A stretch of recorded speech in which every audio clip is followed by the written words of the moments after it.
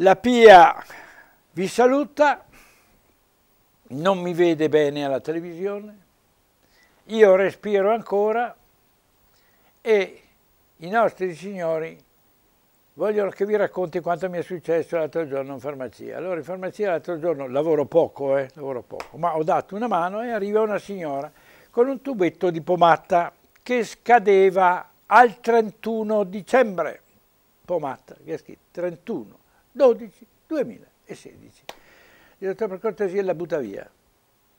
La butta via. Perché la butta via? Eh, è scaduta. È scaduta signora Dico, guardiamoci nelle palle degli occhi, mica tutto il vantaggio a venderla perché i farmacisti, insomma, notoriamente sono un po' attaccati al dio soldo. Questa è un'addizione popolare, non so se mi si dice, meno credo, ma comunque, così dice il popolo. Allora, sulle scadenze io ho qualcosa da dire. Veniamo a ragionare su questo tubetto di pomata. Ma pensate voi che il tubetto che c'è scritto che scade cinque giorni dopo non le bombe. Ragazzi, ragazzi, veniamo giù dai peri, non andiamo dietro al mercato in questa maniera. Io ho una persona che aveva un pacchetto di riso che scadeva, quest'estate mi è capitata, ma lei scadeva al 30 di giugno. Me l'hanno portata, me la buttai via. Come la buttai via? Eh sì, è scaduto, come? in dieci giorni il riso si trasforma in, in, in, veleno per i topi? No, non credo che in dieci giorni il riso al 31 di giugno buono, al 15 di luglio il veleno per i topi, no, lo credo, almeno non è così. Non è così. Allora, le scadenze, bisogna che ci guardiamo nelle palle degli occhi, come sono, come si effettuano le scadenze. Allora si trovano i chimici della ditta XY, si siedono a un tavolo e dicono benissimo, questo prodotto chimico ha una garanzia perché non è detto che si trasformi in veleno per i topi. Prendiamo un antibiotico per esempio, potrebbe perdere di efficacia, cioè se al 31 è valido, non è detto che il giorno dopo non sia valido, no? perché se no ragazzi veramente Bisogna guardare la legge, ma nella vita c'è anche la legge del buonsenso. Allora adoperiamo questa seconda legge, lasciamo stare la legge, ma la legge del buonsenso. Ma vi sembra possibile che il 31 di dicembre il tubetto scade e il 5 di gennaio del 2017 il tubetto è diventato veleno per i topi? No, no e poi no. Allora torniamo ai chimici, si siedono a un tavolo, c'è dentro cortisone, va bene, il cortisone dopo quella data lì potrebbe alterarsi dopo sei mesi, sì, però perderà di efficacia. E allora a tavolino stabiliscono una scadenza che è messa lì, loro sanno benissimo che quel tubetto lì in, in realtà può essere dannoso, dopo sei, dannoso, può essere meno efficace perché non diventano veleno per i topi, in caso si parla di minor efficacia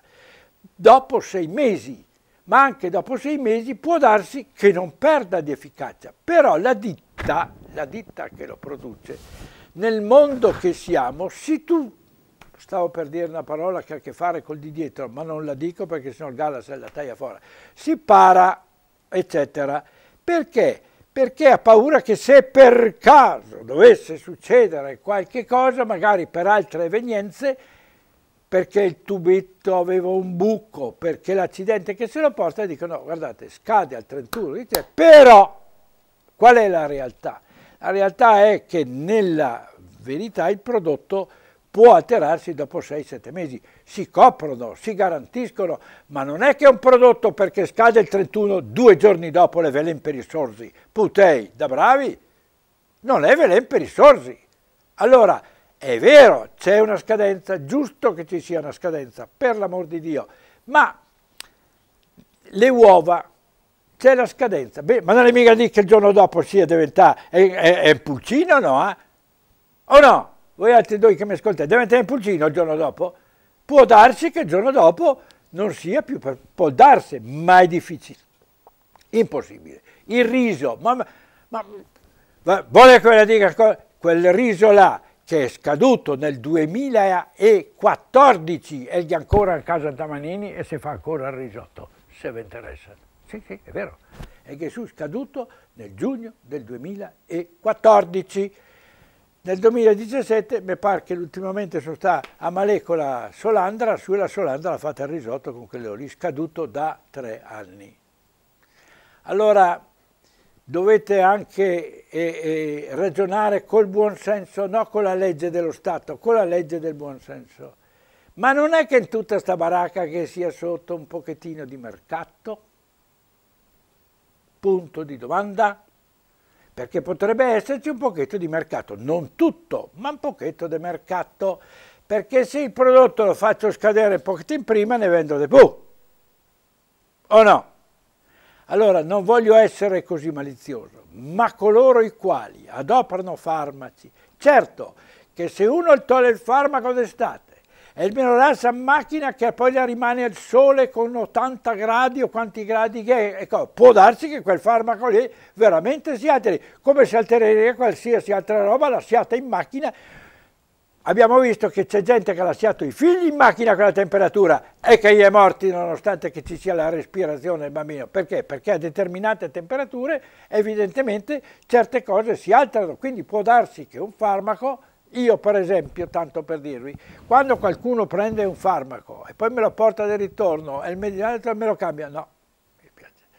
Io posso fare tutto ma non cambiare un farmaco che è stato fuori perché non so dove l'abbiano messo, perché può darsi che me l'abbia messo anche in un posto dove veramente il farmaco poteva alterarsi, perché se un farmaco me lo mette a 100 gradi o mi fa una roba del genere, eh, insomma ragazzi, eh, non, non, non, non, posso io, perché a un certo momento il cliente che viene da me può dire, ma scusi dottore, lei è il garante, e se viene da fuori, certo se viene il Parisi o il Galas, insomma, spero che qui dove lì ma neanche a voi due non state a conformarci perché non vi cambio, ve lo dico prima tutti e due.